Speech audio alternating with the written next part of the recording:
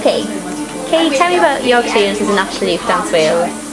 I auditioned a few times for National Youth Dance Wales and I wasn't that successful but I kept trying and eventually I got into the company last year and I, I was so ecstatic to get in. Like I couldn't wait I couldn't wait for the experience to work with them.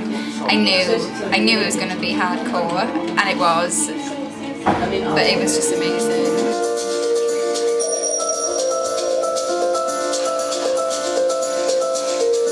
How did you find the residential side of things, so living away from home and things? Um, well, it was a two-week residential, and in all fairness, we got looked after really well. The welfare team they, they supply is they're brilliant. You know, they really do look after you. The food is amazing. We always comment on the food. How would you say you developed from the beginning of it to now? Have you got better? Do feel Yeah. stay the same? I think it's the little things that you think you know what you're doing, like even the smallest things like a plie. You think you know what a plie is until you have class with Errol and then you realise that's not what you're doing. Um, but the way he he gives you feedback and the way he corrects you is really encouraging. Lift the focus and it opens up the chest area as well. And allows you want enter, enter, and four, and five. There you go. You come out of it like you think you're a brand new dancer and like I went back to uni then for my second year and I felt I felt a massive change just because of them two weeks and it's really beneficial. So would you say that Errol played a big part? Errol and Davina definitely. I mean they took class with us every morning so they got to see us every day um, doing technique class and giving us corrections.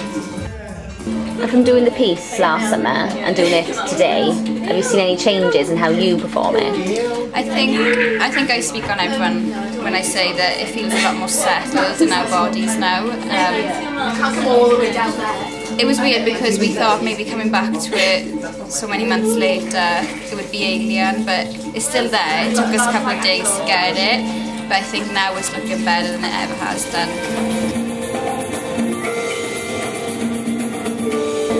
Would you do it again? Definitely. Yeah?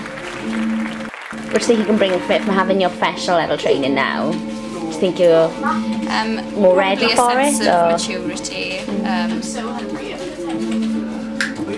and just knowing that it's okay to go wrong and like feedback is a good thing. Like nowadays you you crave feedback because you don't get much of it in higher education. Well, in some circumstances you don't.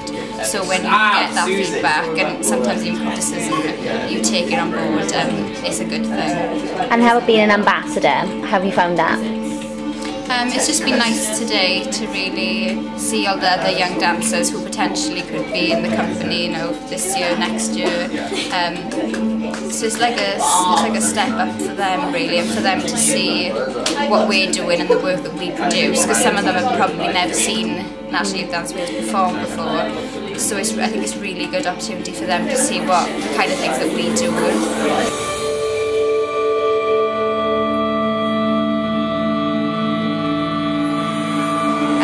I would definitely advise it to any young dancers. It's, it really is an experience. Um, you laugh, you cry, it's a bit of everything, but if you're thinking of going into dance, then definitely apply for National Youth Dance Wales.